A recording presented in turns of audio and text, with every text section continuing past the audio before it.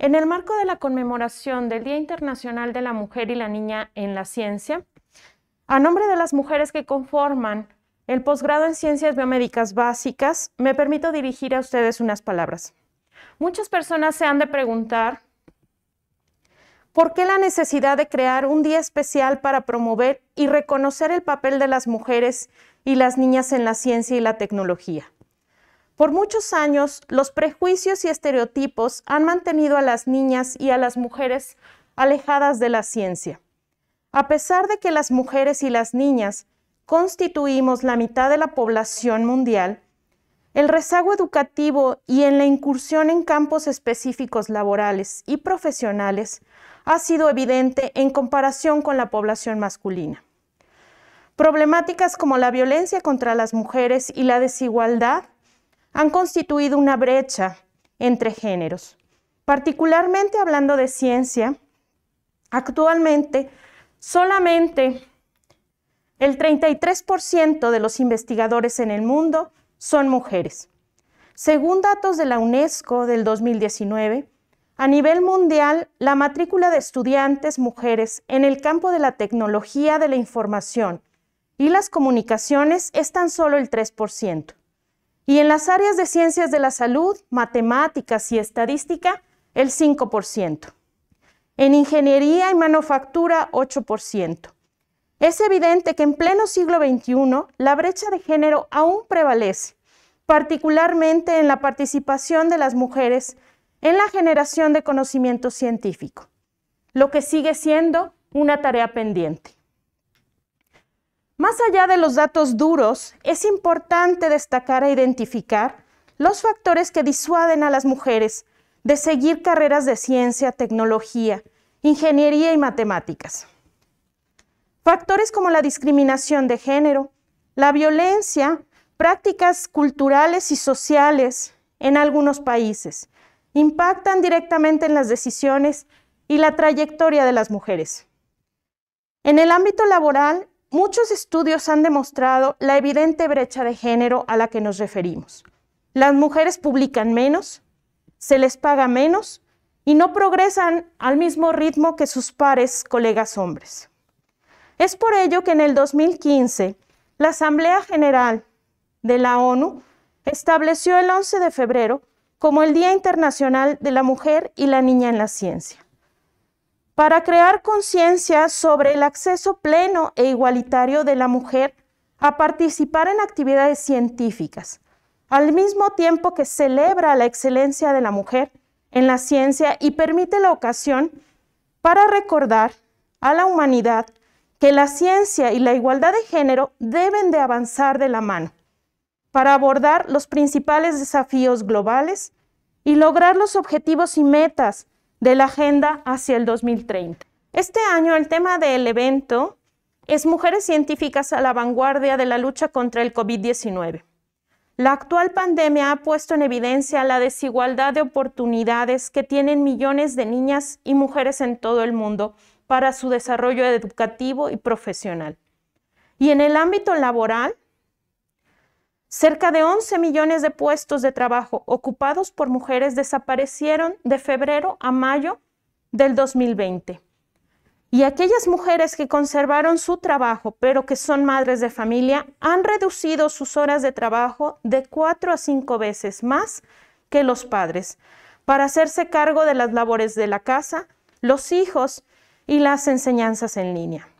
Esta pandemia ha obligado a las mujeres a dejar la fuerza laboral en cifras récord, nunca antes vistas, trayendo consigo lo que ha sido llamado la primera gran recesión femenina. Sin duda, la pandemia ha exacerbado aún más la brecha de género ya existente en ciencia. Es un hecho que las mujeres están publicando menos manuscritos e iniciando menos proyectos de investigación que sus colegas hombres durante esta pandemia. El mayor impacto lo han llevado las mujeres que tienen hijos. Estas disparidades de género no se resuelven celebrando un solo día la labor de las mujeres. Se requiere un cambio sistemático, políticas o planteamientos nuevos, iniciativas y mecanismos y protocolos que contemplen el apoyo a las mujeres y las niñas en la ciencia. Paradójicamente, a pesar de las problemáticas que han empeorado durante la pandemia, esta crisis sanitaria mundial también ha demostrado claramente el rol fundamental que las mujeres han tenido en la lucha contra el COVID-19. Desde el personal de primera línea, doctoras, enfermeras y personal sanitario, hasta el ingenio de científicas y su papel fundamental en el avance de conocimiento sobre el coronavirus, hasta el desarrollo de pruebas y vacunas. Es por todo lo anterior que el posgrado en ciencias biomédicas básicas, al ser un posgrado conformado por un 50% de profesoras mujeres, investigadoras de alta calidad, además de contar con una matrícula de alumnas que constituye el 60% de estudiantes femeninas, nos unimos a las celebraciones de este día significativo, donde se reconoce el esfuerzo de todas y nos sumamos a impulsar y promover iniciativas políticas y nuevas prácticas sociales que logren disminuir la desigualdad de género en todos los ambientes educativos y laborales, particularmente los científicos, que brinden las mismas oportunidades a niñas y niños que deseen dedicarse a la carrera profesional en el área de las ciencias y contribuyan con la construcción de una sociedad donde el respeto, la tolerancia y la igualdad prevalezcan. Y al fin, la ciencia sirva a la humanidad. Bienvenidos a estas celebraciones y agradezco a todos su participación. Hola, ¿qué tal? Soy la doctora Patricia Elizabeth Cosío Torres, profesora investigadora de la Facultad de Medicina en el Departamento de Salud Pública. También soy docente titular en el posgrado de Ciencias Biomédicas Básicas. Mis líneas de investigación son relacionadas con la salud adolescente, la salud ocupacional y las intervenciones comunitarias. Mi nombre es Mariana Salgado Bustamante. Soy profesora investigadora en la Facultad de Medicina, estoy adscrita al Departamento de Bioquímica y pertenezco al posgrado en Ciencias Biomédicas Básicas. Mi línea de investigación es, trata acerca del estudio de mecanismos epigenéticos involucrados en la programación de respuestas metabólicas fetales. Gracias. Hola, yo soy la doctora Luz Alcántara, trabajo aquí en la CIACID, en la Unidad de Innovación Diagnóstico Molecular y Celular. Trabajo en la búsqueda de biomarcadores para cáncer cervicuterino y actualmente estamos desarrollando un protocolo para la medición de anticuerpos en plasma con pacientes que han cursado la enfermedad COVID-19. Hola, yo soy Leticia Yáñez Estrada y soy la responsable del Laboratorio de Género, Salud y Ambiente de la Facultad de Medicina. Tenemos dos líneas de investigación. La primera relacionada con la toxicología, evaluamos los daños a la salud por la exposición a sustancias tóxicas persistentes, tales como por ejemplo plaguicidas en un campo agrícola o retardantes de flama en trabajadores de basura eléctrica y electrónica.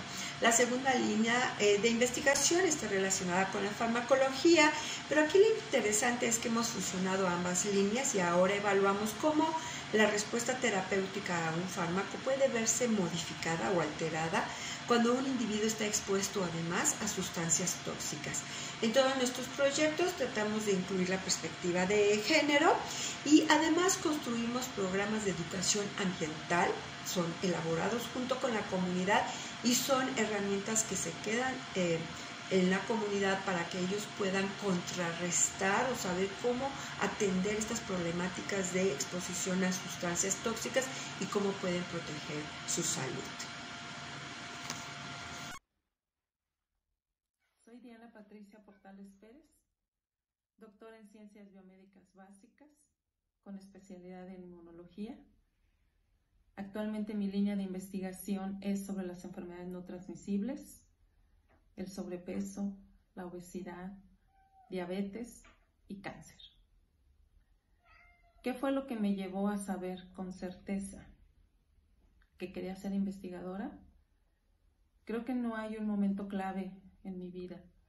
Sin embargo, la necesidad de seguir estudiando, de seguir aprendiendo, me llevó a saber que en un punto durante mi proceso de, de licenciatura pude saber que quería seguir estudiando. Los principales retos a los que me enfrenté fue no tener un posgrado en el estado, en la ciudad, cuando yo egresé de la licenciatura de químico farmacobiólogo. Por lo tanto, bueno, pues me casé, tuve mis primeros dos hijos y cuando se me dio la oportunidad de estudiar en la Facultad de Medicina, uno de los retos a los que nos tuvimos que enfrentar como estudiantes fue la falta de referencias bibliográficas, la falta o el acceso rápido y fácil